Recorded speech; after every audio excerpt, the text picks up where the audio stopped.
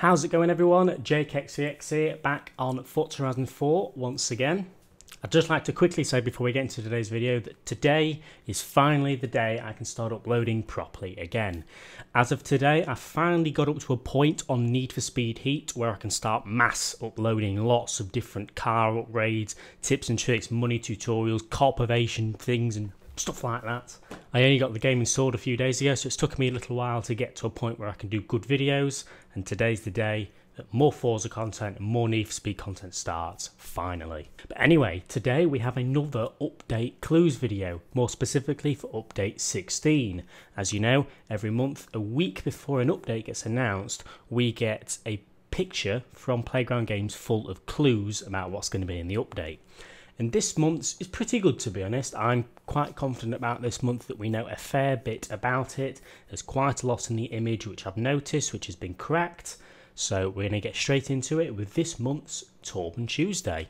Here is the image in question. As you can see, it's just like all the other ones. We've got the monitors and the whiteboard and maybe a few other little bits and bobs scattered around the image, hopefully full of clues. So anyone who hasn't done so anyone who hasn't seen this before, basically this image is full of clues about what's going to be in the update that's going to be announced next week. So anything that we find isn't going to be confirmed or denied until next week. So we may know quite a lot before anybody else, and I believe we may know most of the new cars again. So let's have a look. We're going to start with the monitors, then we'll do the other bits on the screen, and then we'll do the whiteboard. We'll do in that, that order. So starting with the monitors, on the left hand monitor we have advanced search. Maybe this is a new, more detailed advanced search options that they're adding to the auction house because they've just recently done an auction house update in the last one. So maybe we're getting an even more advanced search for the auction house. We'll have to wait and see. That's what i take from the left hand monitor. The middle monitor absolutely no idea. It says soon. We can't take anything from that the third monitor along seems to be a Google search for, to me, it seems like pasta. I've seen lots of people can't really tell what's on this monitor, but to me it looks like pasta, and I can see the word pasta on there. Pasta always hints towards the words Italian, maybe pista. So, from my take, this third monitor is something Italian related or pasta. We'll get more onto that later on. And then the fourth monitor down in the bottom right hand side we can see what looks to be the guy on the drag strip and something that someone noticed is if you have a look on the map the drag race starter icon has moved from the middle of the drag strip to the end of the drag strip or sorry to the beginning of the drag strip anyone who does the drag races or even been round there will know what I mean. They've moved the starter to the beginning instead of the middle. That's a very good thing that they've done, to be honest. It was quite annoying. So that's all of the monitors covered. Now let's have a look around the monitors and then we'll move on to the whiteboard where the whiteboard is full of most of the stuff. Now honestly, off of the monitors, there's not that much to look at. There is a car, what seems to be some kind of Hot Wheels toy model car tucked in behind the first monitor. I think it's too too far away to tell what that is, but maybe that's hint towards something. Um, there's a hat as well honestly, there's nothing else around there. There's nothing else that seems to be hinting towards anything. So let's move on to the whiteboard, where this is full of good stuff. Now, let's start with the most obvious thing on the board and about the new cars which may be coming as well. If we have a look, the big soon blocky thing is covering up what seems to be half of some of the words. Now we have four words with a tick next to them and then two words with a cross next to them and I believe I know what all of these mean. The, the four that are ticked are like fur, fur, ATS, and lamb, which would highly hint towards them being Ferrari, Lamborghini, but they've crossed out what type of Lamborghini and what type of Ferrari it is. So in my prediction, we're getting two new Ferraris, a new ATS, and a new Lamborghini. What could these possibly be? We could have the Ferrari F8, the Ferrari 488 Pista, the Ferrari Daytona, the Ferrari SF90. I think the 488 Pista is probably the most likely. I'm not sure about the second one. But I mean, they're saying whatever is under this uh, text is coming soon, so it must be new cars coming soon, I guess. So, two new Ferraris, a new ATS. The new ATS could be the ATS GT, as seen on screen probably likely, and then the new Lamborghini. Now, about the new Lamborghini, let me show you this. Well, I will say none of this is confirmed. This is just what we're getting from the board, and it does seem like we're getting some kind of new Lamborghini, that's for sure.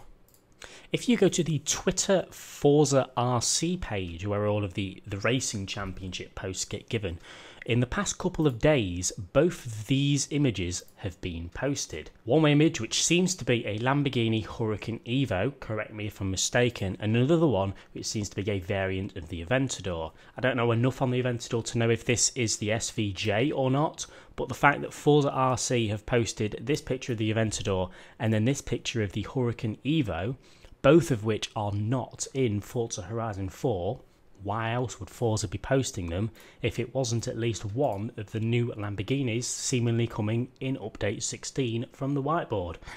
That was a mouthful and a half. So yeah, to put it short, from this board we can see that there's four ticks next to four words. Two of them seem to say Ferrari and ATS, possibly the ATS GT, and then LAM, Lamborghini Huracan Performante, Lamborghini Huracan Evo, Lamborghini SV, Aventador SVJ. Could be a whole range of um, Lamborghinis, but the more specific ones it could be and maybe the Huracan Evo, the Huracan Performante. We'll have to wait and see.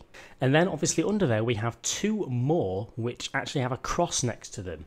Now, some of them managed to crack this. As we remember in the last update, they are planning on blacklisting certain cars from, I think it was Ranked Adventure, or was it Rivals? Ranked Adventure, I think, that were just too overpowered or too abusive. And what it seems to be is these words could possibly mean Hot Wheels, the Bone Shaker, and then TG, Top Gear, the tractor. Because as we know, the Top Gear, sorry, the uh, the Hot Wheels Bone Shaker is very overpowered, and the Top Gear tractor is just too abusive. So have they completely blacklisted these from the ranked adventures and stuff like that? We'll have to wait and see, but that's what I take from it. As for the new cars, I believe that's it. I don't think there's anything else on this screen that hints towards the new cars. However, there's lots features wise, which we'll get into in a minute.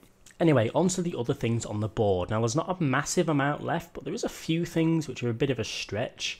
Um, in the top left, we have the day Friday, and then two numbers, which are 157494240 and 157-511-4200. Now these numbers are quite similar. I've tried subtracting them from each other and kind of seeing the difference and I can't really figure anything out of what would have it to do with Friday anyway.